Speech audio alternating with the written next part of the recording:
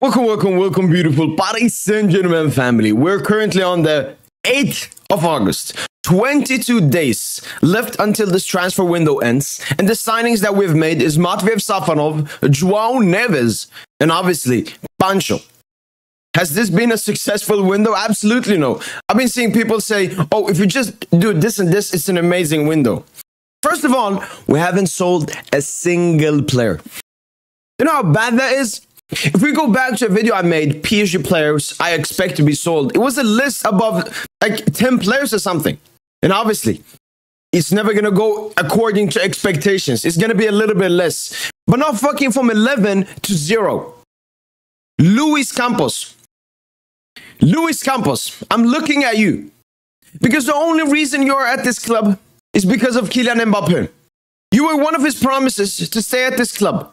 And you've been a leech now. Now that Mbappe's left, it's like you don't fucking care about the club because the two previous windows, I like them from you. I enjoyed them. Bros are selling and they're buying. Obviously, now looking at hindsight, the Gonçalo, the Ugarte, Skriniar, other stuff, it doesn't look that good. But I said, when the window happened, that's what most important ma- matters to me, and it looked good. But this time, during the window, it looks absolutely horrible. And we've even had Jamal, the reliable insider, who's always nice to people working at Paris Saint-Germain, come out and talk negatively about your transfer window.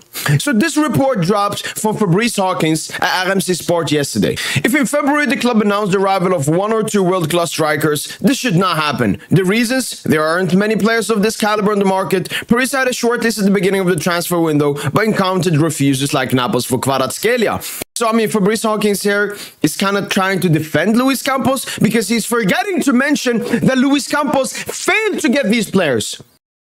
Yes, it's hard to get Kvaratskhelia, but it's not impossible. Let's not act like all of these players are impossible to get. Let's start talking about Luis Campos being an incompetent sporting director that can't make us into an attractive club that can't negotiate for big players. As I've said in the previous video, Luis Campos exposure video I made, this is not Luis Campos' game. Luis Campos is good at signing young players and all of that. But this once again proves that we need someone else. This is what Jamal had to say. It would be a disaster if that happens, especially since the management knew for a long time about the departure of Mbappe was scoring 50 goals per season, so they have had enough time to anticipate the current situation. We're one of the most important transfer windows of the QSI era, and there are going to be a lot of matches this season, especially with the new formats in the Champions League. In other words, we will really have to ensure in terms of the transfer window over the next three weeks. Because, well, it's all well and good trying to reassure the fans after the announcement of Mbappe's departure by using the media to get the message across that there will be a top recruit on each line, but now it's time to put words into action. The three weeks left in the transfer window, let's hope for a good end. We'll be very attentive here. The thing I'll, at least I like from Jamal is that he has hope. Is this cope? Could be copium. It definitely could be copium. But Jamal having some kind of hope means that there's still an idea of some success towards the end of this window. As I've talked to David yesterday, I've accepted we won't sign any player. That's the situation Luis Campos has put me in, where I'm expecting Paris Saint Germain to not replace Kylian Mbappe's goals in any kind of matter. The only attacking player we'll get that will be added is Ibrahim Mbaye from the under 19.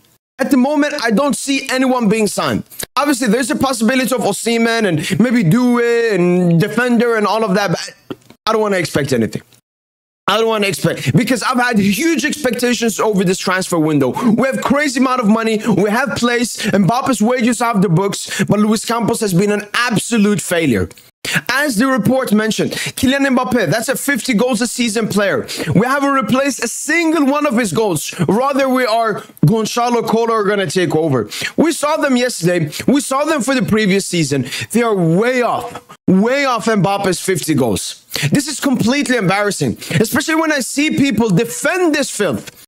Defend this filth and be happy going into the season with Gonçalo and Kolo? Are you Paris Saint Germain fans? Or are you Lille fans? Or are you Monaco fans? Or are you Lens fans? Or are you even Strasbourg fans? Because this is not the Paris Saint-Germain I knew. This is not the Paris Saint-Germain I know. I've been supporting this club since 2012. And this has by far been the most embarrassing transfer window. When you look into context, take everything into context, this has been an absolute disaster full of a window. As I mentioned, people don't talk about it, but we have sold zero players. If we had sold some players, some of these transfers would have been easier.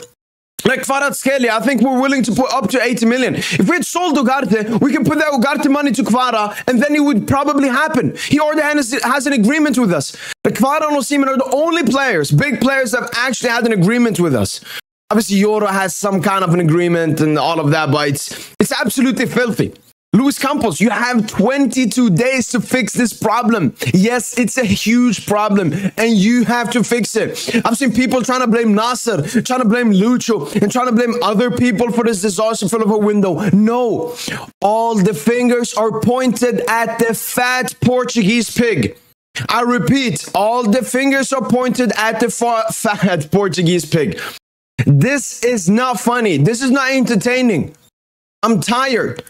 I need better transfers.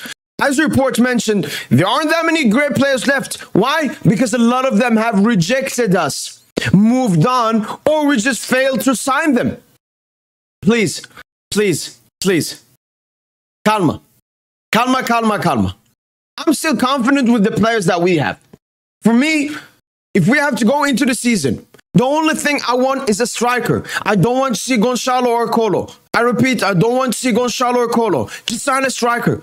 I don't even need a backup fucking winger. We can play Kangeli, we can play Mayulu, we can play Asensio. It's obviously a downgrade from all the players we've been after, but I'm content with that.